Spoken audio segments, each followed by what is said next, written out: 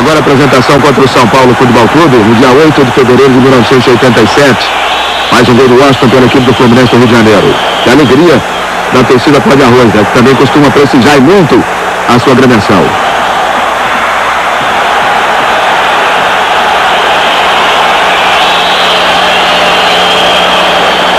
A repetição do lance para você do jogo contra o São Paulo no dia 8 de fevereiro de 1987.